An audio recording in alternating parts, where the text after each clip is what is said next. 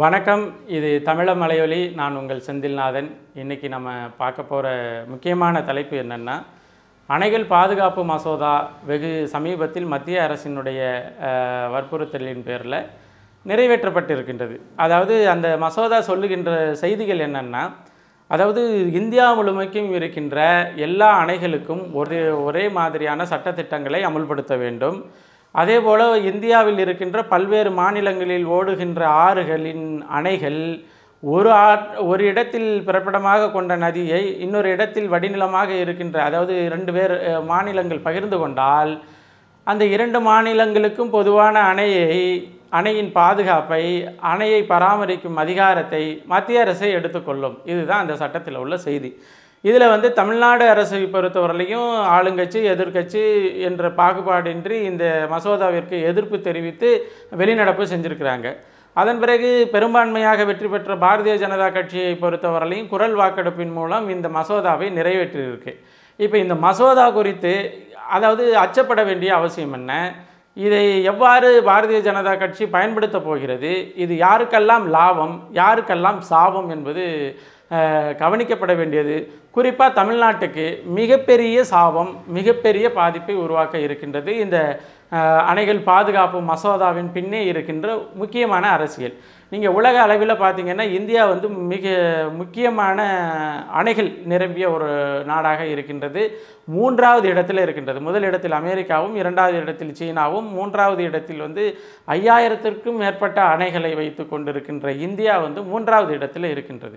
இப்போ இந்த ஐயாயிரத்திற்கும் அதிகமாக அணைகளை வைத்து கொண்டிருக்கின்ற இந்தியாவினுடைய அணைகளுடைய சூழல் எப்படின்னா எப்பயுமே ஒ- ஒரே மாநிலமாக இங்கே ஒரு நதி ஒரு ஆயிரம் கிலோமீட்டர் பயணிக்கின்ற ஒரு பெரிய நதியானது ஒரு மாநிலத்தில் உற்பத்தியாகி இன்னொரு மாநிலத்தில் அதிக தொலைவை கடந்து கடலில் கலக்கின்ற அந்த சூழல் தான் இருக்கின்றது.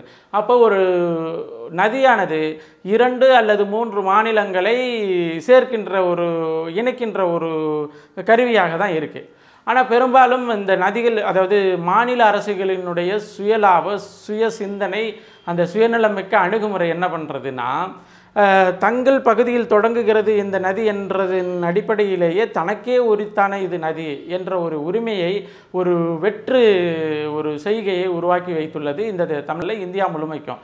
இப்போ பார்த்திங்கன்னா கர்நாடகாவிற்கு காவிரி நதியில் இருக்கின்ற உரிமை தமிழ்நாட்டுக்கு இல்லை. அவர்கள் அணையை கட்டி ஒன்றுக்கு இரண்டு அணைகளை கட்டி அந்த அணையில் வழிந்த வடிநீர் தான் காவிரி நா காவிரி ஆறாக மேட்டூர் அணைக்கு உபரி நீராக வந்து செய்கிறது இது மட்டும் இல்லை மூன்று மாநிலங்களை வந்து தொற்றுட்டு வர்ற இந்த நம்ம பாலாறு. பாலாறு பார்த்தீங்கன்னா கிட்டத்தட்ட பாதிக்கும் மேற்பட்ட தொலைவு வந்து தமிழகத்தினுடைய எல்லை பகுதியில் கடக்கின்றது. ஆனால் பாதிக்கு மேற்பட்ட எல்லை பகுதியை கடக்கின்ற பாலாற்றில் தமிழக அரசு கட்டியிருக்கின்ற ஒரே ஒரு அணை ஒரே கட்டியிருக்கின்ற அணையின் எண்ணிக்கை ஒன்றே ஒன்று தான் ஆனால் மிக குறுகிய தூரம் கடக்கின்ற கர்நாடக அரசுலேயும் அல்லது ஆந்திர அரசுலேயும் பார்த்தீங்கன்னா நிறைய அணைகள் பாலாற்றின் குறுக்கே கட்டியிருக்கிறாங்க.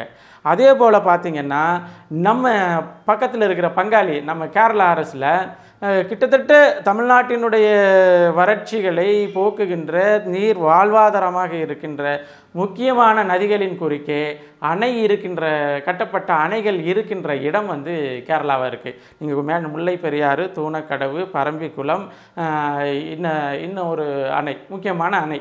இது நாலுமே வந்து தமிழக அரசினால் கட்டப்பட்டு தமிழக அரசினால் பராமரிக்கப்பட்டு ஆனால் இந்த மொழிவாரி மாநில எல்லை பிரிப்பின் போது அந்த அணைகள் கேரளாவின் நிலப்பகுதியில் இருப்பதாக இருக்கின்றது சூழல்.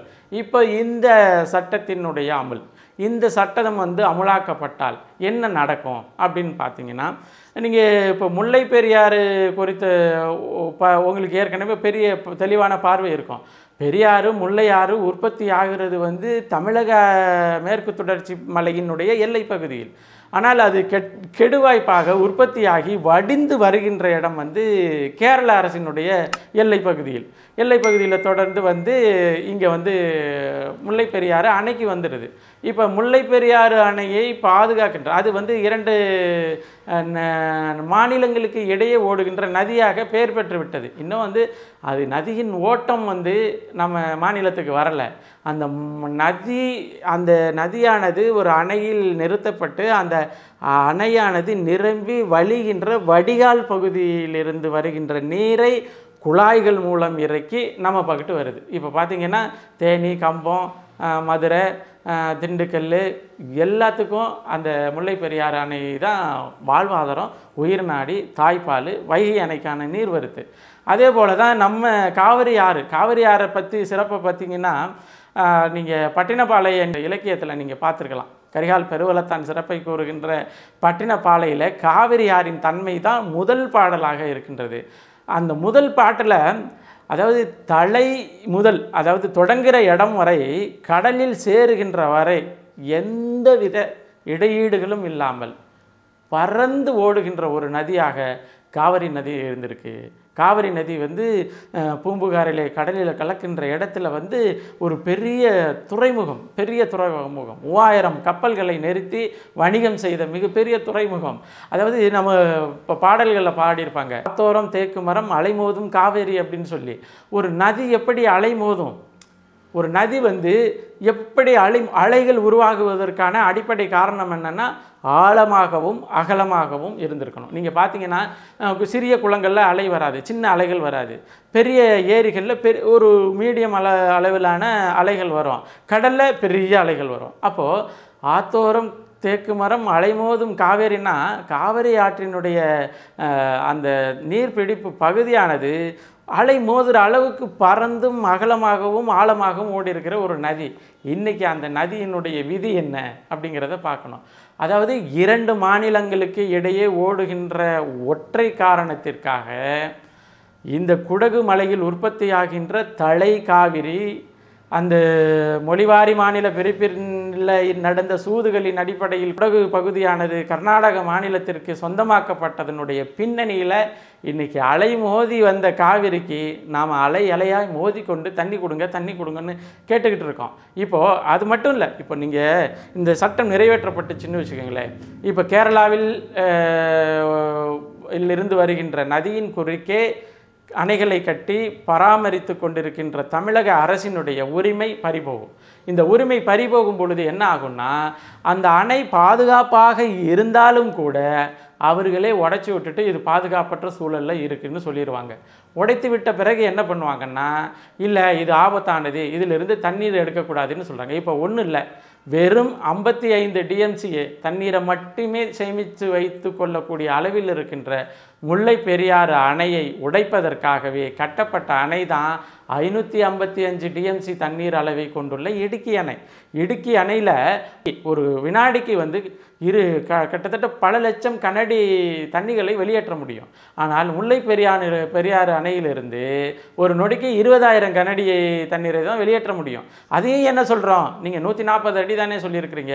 நூற்றி ஐம்பத்தஞ்சு அடி வரலையும் உயர்த்தி கொண்டால் பெருவாரியான தண்ணிகள் வடிநில பகுதியாக குழாய் வழியாக பேபி அணை வழியாக தமிழகத்திற்கு வந்திருக்குமே. அதற்கு நீங்கள் அனுமதிங்கிறான் அதாவது ஐநூற்றி ஐம்பத்தி அஞ்சு அடி உயரமுள்ள இடுக்கி அணை அவர்களுக்கு பாதுகாப்பாக தோன்றும் பொழுது வெறும் நூற்றி ஐம்பத்தி ஏழு அடியை மட்டும் உயர்த்தி கொள்வதற்கு சாதகமாக இருக்கின்ற இந்த முல்லை அணை அவர்களுக்கு தீமையாகப்படுகிறது என்றால் அவர்கள் அதை எப்போ இடிக்க இடிக்க இடிக்கணும்னு காத்து கொண்டு இருக்கிறார்கள் அதற்கு இந்த மசோதா மிக எளிமையான அணுகுமுறையை கொடுத்துருக்குது. ஏன்னா தமிழக அரசினுடைய பாதுகாப்பில் இருக்கும் பொழுது பேபி அணையின் பக்கம் இருக்கின்ற பதினஞ்சு மரங்களை வெட்டுவதற்கான அதிகாரமும் உரிமையும் யாருக்கு இல்லை? அணைகளை வைத்து அணைகளை கட்டி அதற்கான மானியத்தை கொடுத்து அணையின் நீர்பிடிப்பு பகுதிக்கு குத்தகை ரூபாயை கொடுத்து தொள்ளாயிரத்தி தொண்ணூற்றி ஒம்பது வருஷம் குத்தகைக்கு எடுத்த தமிழக அரசுக்கு உரிமை இல்லை. பறந்து பதினஞ்சு மரங்களை வெட்டுவதற்கு இப்போதைக்கு உரிமை இல்லை. இந்த சட்டம் மட்டும் நிறைவேற்றப்பட்டால் இந்த உரிமை வலுக்கட்டாயமாக அதாவது கையில் இருக்கின்ற எஞ்சிய உரிமை வலுக்கட்டாயமாக பிடுங்கிக் கொள்ளப்படும். பிடுங்கி கொண்டு என்ன தெரியுமா செய்யும்? மத்திய அரசு இதை உடைப்பதற்கு அங்கே தன்னுடைய கால ஊனும் கால ஊனும் இப்போ அவங்களுக்கு என்னென்னா மத்திய அரசு வந்தால் கூட பரவாயில்ல. தமிழ்நாட்டுக்கு வந்து தண்ணி கொடுக்கக்கூடாது இது கேரளாவோட அணுகுமுறை. அதுதான் நடந்துக்கிட்டு இருக்குது. இப்போது ஒரு அணை இல்லை. ஒரு அணை இல்லை. இந்த நான் சொன்ன அந்த நாலு அணைகளையும் நீங்கள் டொமாலிஸ் பண்ணி அல்லது அதனுடைய பராமரிப்பு உரிமையை தமிழக அரசிடம் இருந்து கேரள அரசோ அல்லது மத்திய அரசோ பெற்றுக்கொண்டால் ஒரு சொட்டு தண்ணி தமிழகத்திற்கு வராது. ஒரு ஆறு ஓடாது. தாமிரபரணி ஆற்றை தவிர வேறு எந்த ஆறும் தமிழகத்தில் பாய்கின்ற ஆறுகள் முக்காவாசியான பெரிய ஆறுகள் உற்பத்தியாகிற இடம் மொழிவாரி மாநில பிரிப்பின் சதியின் பின்னே மற்ற மாநிலங்களுக்கு பகிர்ந்தளிக்கப்பட்டு விட்டது மற்ற மாநிலங்கள் அனைத்தும் தமிழகத்தின் பகுதியில் ஓடுகின்ற ஆற்றின் குறுக்கே அதிகப்படியான அணையை கட்டி நிரப்பி வைத்துள்ளது. இப்போ என்ன செய்வாங்க? ஒன்றும் மத்திய அரசு தண்ணி விடாது அல்லது மா மாநில அரசும் தண்ணி விடாது. ஏன்னா தமிழ்நாடு மாதிரி ஒரு இழிச்சவாய் நாடு தமிழ்நாட்டை ஆளுகின்ற இந்த திராவிட தலகர்த்தர்கள் மாதிரி ஒத்தி சுவாதீனமற்ற ஒரு தலகர்த்தர்கள் உலகத்திலே பார்க்க முடியாது. ஏன்னா நீங்கள் பார்த்தீங்கன்னா கிட்டத்தட்ட ஆயிரத்தி தொள்ளாயிரத்தி நாற்பத்தி அஞ்சில் பயணப்பட்டு ஆயிரத்தி தொள்ளாயிரத்தி அறுபத்தி எட்டு எழுபது வாக்கில் கண்ணகி பெருங்கோயிலை கண்டுபிடிச்சு உலகத்துக்கு பேரறிவிப்பு செய்கிறாரு சி. கோ. கோவிந்தராசனார் அவர்கள். அப்போ கண்டுபிடிக்கும் பொழுது தமிழக அரசினுடைய எல்லைக்கு உட்பட்ட தேனி மாவட்டம் அதாவது வருஷ நாடுன்னு சொல்லக்கூடிய தேனி மாவட்டம் கம்பம் கீழக்கூடலூர் வழியாக தான் அந்த நெடுவேல் குன்றத்தை ஏறி இறங்கி கண்ணகி கோயிலை அடை அடைஞ்சு தின்ட்டார். கண்ணகி கோயில் நிலை பெற்று இருக்கின்ற இடத்திற்கும் கேரள அரசினுடைய எல்லை பகுதிக்கும் சற்றேறக்குறைய ஐம்பத்தி ஐந்து கிலோமீட்டர். ஆனால் ஐம்பத்தி ஐந்து கிலோமீட்டர் எல்லையை கடந்து வந்து யாரே? கேரள அரசு ஐம்பத்தி ஐந்து கிலோமீட்டர் எல்லையை கடந்து வந்து மங்களாதேவி அண கோயில் என்று சொல்லக்கூடிய கண்ணகி கோயிலினுடைய பராமரிப்பையும் வழிபடுகின்ற உரிமையும் தனக்கே உரித்தது என்று இன்று வரை கையில் வச்சிருக்கு. இந்த அந்த கலைஞர் அரசாக இருக்கட்டும் அதன் பிறகு வந்த த- ஜெயலலிதா அரசாக இருக்கட்டும் அதுக்கு முன்னாடி இருந்த க- எம்ஜிஆர் அரசாக இருக்கட்டும் கலை கண்ணகி கோயிலுக்கு ஒரு பாதையை தமிழக அரசினுடைய வனப்பகுதியினுடைய உட்பட்ட எல்லை பகுதியில் வைத்து கொடுங்க. வருடம் முழுதும் போய் இந்த கண்ணகி கோயிலை வழிபட்டுட்டு வருகின்ற உரிமையை தாருங்கள் என்று பல்வேறு தலங்களில் கோரிக்கை எழுந்தது. ஆனால் இந்த தமிழக அரசு விடாப்படியாக அதற்கான பாதையை அமைக்கலை. பாதை அமைக்காத ஒரே காரணத்தினால அந்த கோயிலை அணுகுவதற்கு கால்நடையாக போகிறவங்க வருஷத்தில் ஒரு நாள் மட்டும் சித்திரை பௌர்ணமி அன்று மட்டும் அந்த வழியாக ஏறி இறங்கி போய் கண்ணகியை பார்த்துட்டு வரலாம். மற்ற மற்றபடி அந்த ஜீப் என்று சொல்லக்கூடிய ஊர்தி வழியாக போகிற போகிறவங்க வருடத்தில் ஒரே நாள் குமுளி வழியாக போய் கண்ணகி கோயிலை பார்த்துட்டு வரலாம். கண்ணகி யார்? தமிழர்களினுடைய பண்பாட்டின் அடையாள சின்னம். கண்ணகி கோயில் இருக்கின்ற வனப்பகுதி வந்து தமிழ்நாட்டினுடைய எல்லை பகுதி. அதுவும் பக்கத்தில் கூட இல்லை. தமிழ்நாட்டின் எல்லை பகுதியிலிருந்து ப அம் கண்ணகி கோயில் இருக்கும் இடத்திலிருந்து ஐம்பத்தஞ்சு கிலோமீட்டரை கடந்த பிறகு தான் கேரள வனப்பகுதி வந்துடுது அப்போ கேரள வனப்பகுதி என்ன சொல்கிறாங்கன்னா எங்களுடைய வனப்பகுதி பாதுகாக்கப்பட்ட வனப்பகுதி. அந்த வனப்பகுதியிலிருந்து நீங்கள் கண்ணகி கோயிலுக்கு தினந்தோறும் நடைப்பயணத்தை திறந்துவிட்டால் எங்களுடைய பாதுகாக்கப்பட்ட வனப்பகுதி வந்து சீரழிவுக்கு உள்ளாகும். அதனால் தமிழக அரசின் பொதுப்பணித்துறை கேரள அரசின் பொதுப்பணித்துறையை செ- கலக்காமல் கேரள அரசினுடைய அனுமதியை பெறாமல் கண்ணகி கோயிலினுடைய ஒரு உடைந்த செங்கக்கல்லை கூட சரி பண்ணிட முடியாது. இதுதான் இன்றைக்கி உள்ள சூழல். அப்போது ந நம்ம அணையை கட்டி நம்ம பாதுகாப்பில் இருக்கின்ற நாலு அணையை பிடுங்கி ஆங்கில்கிட்ட கொடுத்துருவாங்க. நம்ம கோயிலை கட்டி நமது இனத்தின் அடையாளமாக இருக்கின்ற கண்ணகியை வழிபட வேண்டுமென்றால் அந்த மாநில அரசு கேரள மாநில அரசினுடைய பொதுப்பணித்துறையினுடைய அங்கீகாரத்தை பெற்ற பிறகு தான் நம்மளால் போக முடியும். அதுவும் நீங்கள் வருடம் முழுதும் கண்ணகி கோயிலை போய் அணுக முடியாது.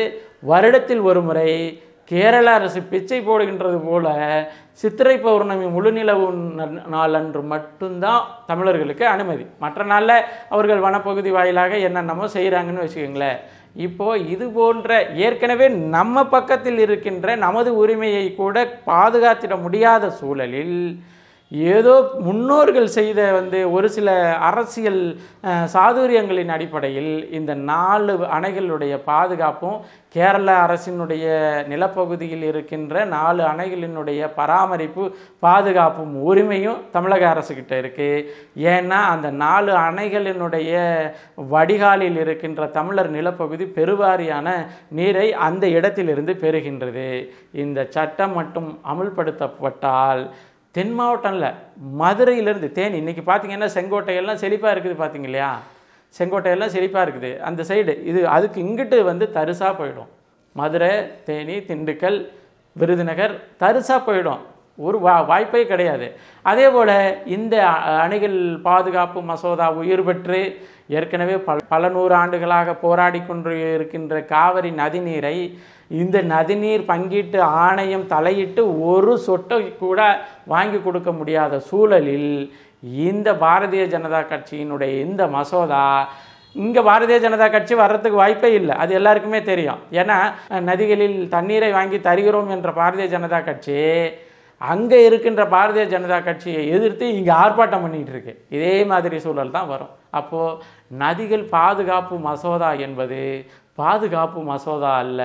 மாறாக தமிழர்களுக்கு வைக்கப்பட்டுகின்ற ஆப்பு மசோதா என்பதை நீங்கள் புரிஞ்சுக்கணும். இன்றைக்கி விவசாயிகளுக்கு விவசாயியினுடைய விளைபொருள்களுக்கு எதிராக கொண்டு வரப்பட்ட சட்டம் வந்து பல்வேறு போராட்டங்களுக்கு பின்னர் பல்வேறு காலகட்ட போராட்டங்களுக்கு பின்னர் தொடர் போராட்டங்களுக்கு பின்னர் வாபஸ் பெறப்பட்டு விட்டது.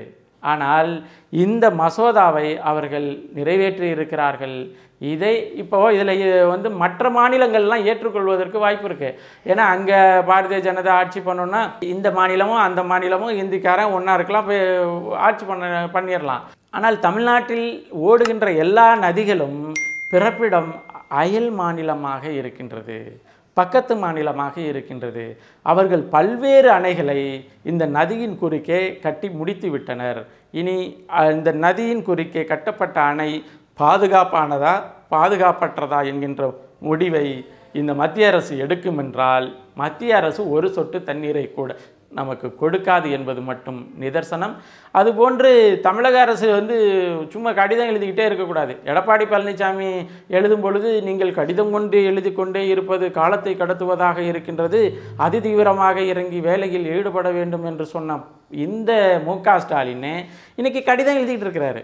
கடிதம் எழுதிக்கிட்டு இருக்கிறாரு. பதவியே ராஜினாமா பண்ணுங்க திரு மு க ஸ்டாலின் அவர்களே. உங்களால் செயல்பட முடியாட்டினா எல்லா தளங்களிலிருந்தும் இந்த அணை பாதுகாப்பு மசோதாவிற்கு எதிரான குரல்கள் ஒழிக்கப்பட்டால் ஒழிய தமிழ்நாடு வந்து சுடுகாடாக மாறிவிடும்.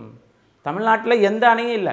காமராஜருக்கு பிறகு ஆண்ட அனைத்து முதல்வர்களும் தங்கள் குடும்பத்திற்கு அணை அணையாக பணத்தை கட்டிக்கிட்டாங்களே தவிர சேர்த்த பணத்தை கொண்டு போய் சுவிஸ் பேங்கில் வச்சுக்கிட்டாங்களே தவிர இந்த நதிகளின் குறுக்கே அணையை கட்டி நீரை சேமிக்கின்ற எந்த ஒரு திட்டத்தையும் இந்த மண்ணில் அவர்கள் அமல்படுத்தவில்லை என்பது எல்லோருக்குமே தெரியும். கூடுமான வரை இந்த அணை பாதுகாப்பு மசோதாவானது திரும்ப பெறும் வரை இந்த கழக குரலை எல்லா தளங்களிலும் ஒலிக்கச் செய்வதில் தமிழக அரசு முன்னோடியாக இருக்க வேண்டும்.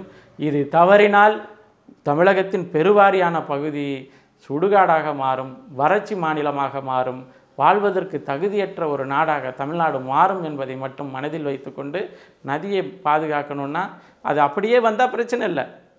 ஆயிரம் அணைகளை ந- கட்டி விட்டுட்டு ஆயிரம் அணைகளும் அண்டை மாநிலத்தில் கட்டி விட்டுட்டு அதிலிருந்து வருகின்ற சாக்கடை வடிகால் நீரை மட்டும் தமிழர்களினுடைய ஜீவாநாதியாக நம்ம பார்க்கணுன்னா அது எவ்வளோ பெரிய பெரும் துயர். நாம் விடுதலை பெற்ற இந்தியாவில் இருக்கிறோமா என்கின்ற அச்சத்தை உருவாக்கிறது என்று சொல்லி இந்த பாதுகாப்பு மசோதா அணை பாதுகாப்பு மசோதா பாதுகாப்பு மசோதா இல்லை தமிழர்களுக்கு வைக்க இருக்கின்ற ஆப்பு மசோதா என்பதை மட்டும் பதிவு செய்து மீண்டும் ஒரு காணொளி பதிவில் இணைவோம். நன்றி.